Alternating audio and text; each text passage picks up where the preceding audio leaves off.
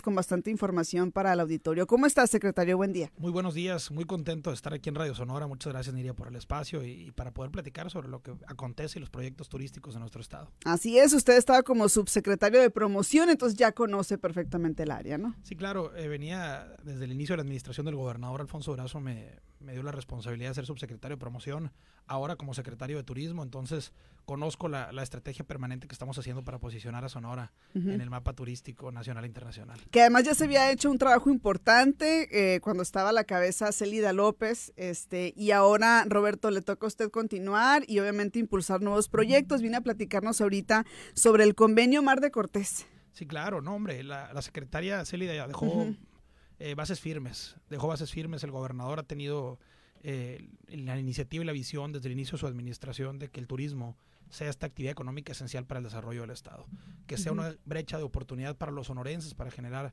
una derrama económica que se genere en bienestar para las familias. Eh, y en, el contexto del convenio, eh, es un convenio muy importante que se ha logrado a través de esta alianza de los cinco gobernadores del, del Mar de Cortés, que la conforman el estado de Baja California Sur, el estado de Baja California, por supuesto que nuestro estado Sonora, Sinaloa y el estado de Nayarit. Es un convenio que se firma con la Secretaría de Turismo Federal, con el secretario Miguel Torruco Márquez, para trabajar en un plan regional de, de, turismo, donde realmente se focalice una estrategia para poder incrementar el desarrollo turístico de esta importante región que tiene, tú conoces, Niria, bellezas naturales impresionantes, tiene destinos turísticos ya muy consolidados en el mercado internacional. Entonces nosotros vamos a aprovechar este convenio para realmente darle este realce a Sonora y, y Sonora poder aprovechar en gran medida esta posición geográfica que tiene en esta misma región, eh, captando todos los visitantes que vayan a bajar de Arizona, que vayan a bajar de California y que se genere esta importante derrame económica en Sonora. Está muy interesante además porque me parece que es algo parecido a lo que ocurre a lo mejor en otros puntos del país como el sur, sureste, que ya pues son puntos muy muy consolidados. Acá, ¿qué ofrecería Sonora o cómo participaría Sonora en este convenio? Eh, hay una participación muy importante. El, gobernador logró un consenso en el pasado 22 de abril en Mazatlán, en la última reunión que hubo de los gobernadores, donde puso en la mesa un proyecto bien interesante, Niria. Un proyecto que es la nueva ruta de cruceros del Mar de Cortés. Una ruta que viene a, posicionar este mapa geográfico, pues, como te platicaba, muy importante, donde podemos aprovechar eh, el acuario del mundo, según Jacques Cousteau una, va a ser un producto turístico nuevo, un producto turístico muy atractivo para todos los visitantes, no solamente de México, sino del mundo. Vamos a poder posicionar realmente a Sonora en el mapa turístico como queremos. Y, consta de tres etapas, Niria. va a constar una primera etapa que es el, objetivo de, posicionar por medio de la promoción y relaciones públicas a esta zona en una campaña intensa de relaciones públicas con las navieras más importantes del mundo. Una segunda etapa donde vamos a ver los diagnósticos de factibilidad, donde vamos a trabajar realmente en ver los modelos óptimos para el curso y las acciones de, estos esfuerzos para consolidar eh, eh, este, este, este reto, este proyecto. Y una tercera etapa en la que vamos realmente ya a decidir la evaluación y seguimiento de con qué empresa se va a trabajar, eh, cuál va a ser realmente los resultados mediante los reportes y transcurso de las primeras dos etapas. Realmente es un proyecto que inicia, es un proyecto que, estamos trabajando. Hemos participado en los foros más importantes de en cuanto a temas de crucero. Se participó el mes pasado, en marzo, en el Sea Trade International en, Miami, de parte de la Secretaría de Turismo, donde realmente estamos teniendo pláticas con las navieras más importantes para poder atraer y convencerlos a ellos de que inviertan y que vengan a Sonora. Ok, se pretende que lleguen entonces a qué puntos del estado, supongo Guaymas, Puerto Peñasco. De nuestro estado, claro, en nuestro estado van a ser cuatro puntos distintos. Va a ser Puerto Peñasco, va a ser Bahía de Quino. Okay. Se, se piensa en San Carlos también, en Guaymas, San Carlos, y por último en Guatabampo. Ah. Son cuatro puntos, cuatro playas impresionantes que tenemos en nuestro estado que queremos consolidarlas para que sean destinos turísticos muy atractivos para el mercado nacional e internacional. Ok, y suponemos que en los casos de Bahía de Quino y Guatabampo, por la, a lo mejor se tendría que hacer una inversión adicional para generar este, las condiciones para la llegada de estos cruceros. Sí, claro, y realmente trabajar primero que nada eh, a, conforme a las etapas. La primera es la, la promoción. Cada uno tiene bellezas naturales muy impresionantes, por supuesto. muy importantes, y las estamos focalizando y las estamos dignificando en ese sentido. Nosotros estamos trabajando en la promoción realmente para posicionar cada una de ellas. Y pongo el contexto de Bahía de Quino. Bahía de Quino, tú sabes que está la, está la, ahí vive la etnia Seri, los CONCAC, y nosotros estamos trabajando en la Secretaría de Turismo muy importantemente en una promoción para ellos. Recientemente estuvimos en, el mercado de Arizona, en distintos espacios para poder promover sus productos y directamente con ellos para que ellos puedan comercializar sus productos y obras artísticas.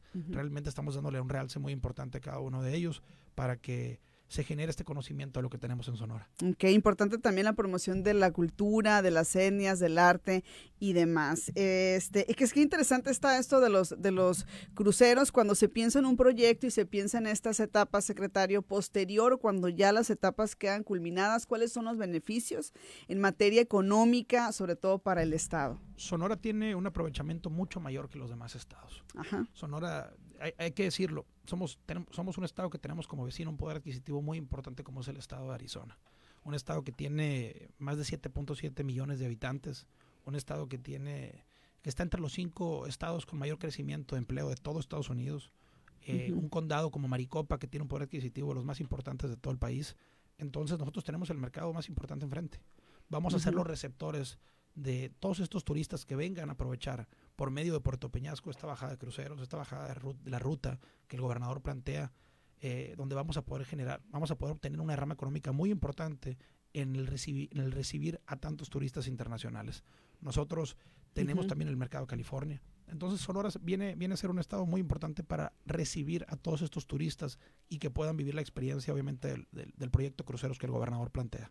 ¿Cuál es la fecha o, para cuándo prevén que ya se pueda dar este recibimiento de turistas? Nosotros ya iniciamos, eh, nosotros ya iniciamos eh, eh, no en el recibimiento, sino en la primera etapa. En la primera etapa de promoción, esta primera etapa, como te comentaba, en trabajar con las navieras y poder tener estos acercamientos para poder plantear.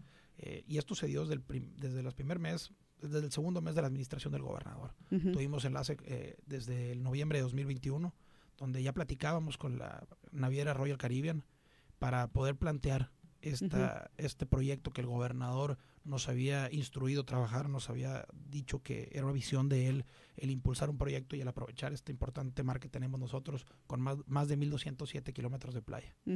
Eh, secretario, ¿cómo o, cuál o qué tanto es el rezago que tenía Sonora en materia turística, ¿no? Porque aquí en esta administración se han dado cambios importantes. Pasó de ser una este, coordinación que dependía de la Secretaría de Economía, la COFETUR, a ser una secretaría, ¿no? Y hemos visto, pues, cambios sustanciales.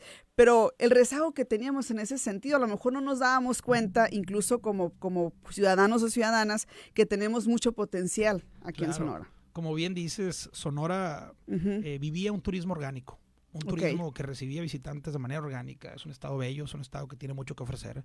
Tenemos un estado maravilloso que, te, que la gente que cuando viene vive experiencias realmente únicas e inolvidables con nuestra gastronomía, con nuestra cultura, nuestra historia.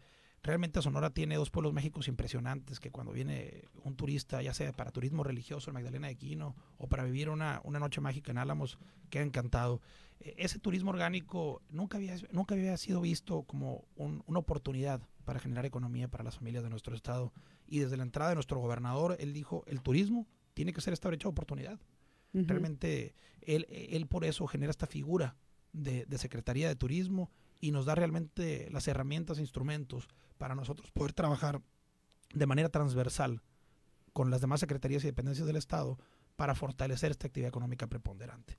Ahora el turismo pasa a ser una actividad económica que marca agenda un turismo que se vive todos los fines de semana. Hoy por hoy, eh, ayer planteó el gobernador y anunció el festival eh, Quino, que se va a celebrar en el Magdalena de Quino, una fiesta que va a la alza, que ha crecido muy importantemente y que cada año va a crecer más para que no solamente sean eventos turísticos en esencia, sino también eventos culturales. El turismo viene a ser en gran medida ahora una actividad económica que va a generar desarrollo todo nuestro estado. Y esto también obliga, creo yo, a la capacitación. Si algo de lo que siempre se ha comentado es que hay mucho potencial y mucha área de oportunidad, sobre todo en materia de prestación de servicios turísticos. Claro, nosotros tenemos una agenda muy importante que, que estamos construyendo para la capacitación y profesionalización del servicio turístico. Hay una gran eh, oportunidad de, poder profesionalizar a los prestadores de servicios en Sonora, desde los hoteleros hasta las personas que trabajan en un restaurante, desde el taxista que te recibe en el aeropuerto. Sí, claro. Entonces estamos trabajando justamente en ese sentido para poder eh, profesionalizar a todo, el, a todo aquel que recibe un turista. Entonces, primero que conozcan el Estado. Y muchas veces yo platico eso primero hay que concientizar lo que tenemos en nuestro estado, vivir las experiencias que tenemos en todo, en todo Sonora, desde el río Cuchujaque en Álamos hasta escalar el Tetacahui, conocer eh, el gran desierto de Altar y todas las maravillas naturales que tenemos, que son muchas. Es un estado grande, pero es un estado impresionante que cualquier familia los invitamos a que visiten muchas de estas experiencias que nosotros promocionamos en la página de Visit Sonora para que realmente conozcan cuál es la agenda de, turismo en Sonora y que puedan disfrutar muchas de las experiencias que tienen por vivir acá. Muy bien, nos dice entonces que estamos en la, bueno, que están en la primera etapa del convenio Mar de Cortés. ¿Qué seguiría entonces, secretario? Primero es una etapa, como te comentaba, Niria, de, de posicionar a Sonora y posicionar a todo el Mar de Cortés ante, ante el mundo, ante las navieras. Eh, es el hablar ante los, los CEOs, ante los directores de estas compañías y poder plantearles el que vengan a Sonora, el invitarlos a que ellos realmente conozcan estos destinos turísticos consolidados y posteriormente procederemos a una etapa de diagnósticos y factibilidades según los modelos a trabajar con cada una de las empresas. Primero, vamos a posicionar a Sonora. Vamos a posicionar, en eso. Pues. Estamos en posicionarlo. Vamos a, trabajar fuerte para que sea un mercado atractivo para estas empresas. Hay un trabajo que se hace de igual con, las, con, la, conectividad aérea. Eh, parte de lo que las aerolíneas te piden es tú promociona, tú posiciona. Entonces, esta es la primera etapa. Es una primera etapa realmente de posicionar nuestros destinos turísticos, que lo vamos a hacer y lo vamos a hacer muy bien.